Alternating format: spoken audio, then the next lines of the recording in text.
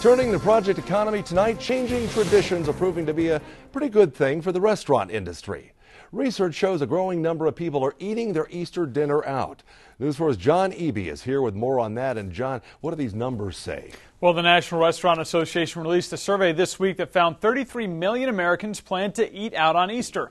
And if a look at downtown Greenville is any indication, that trend is holding true in the upstate too. For several years in a row, Soby's Restaurant on Main Street has served Easter brunch. We have lamb and, and some of the things, ham and things that you would think more traditional with, with Easter. Carl Sobocinski, who runs the Table 301 restaurant group in Greenville, says when Soby's started Easter brunch, reservations would start coming in on Friday and Saturday. But in the past two years, demand has mushroomed. Last year, we were probably filled up about three or four days out, and this year, a week ago, we were completely sold out at Soby's. In fact, the restaurant even kept brunch going an extra hour this Easter just to keep up with demand. Up and down Main Street, the sidewalks were bustling with families looking to eat Easter dinner out, many for the first time.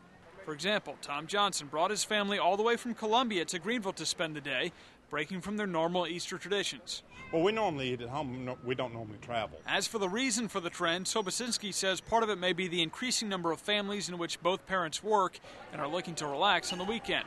Or in the words of one mom, Honestly, I just didn't feel like cooking today. She wasn't the only one who said avoiding work in the kitchen was a contributing factor. Yes.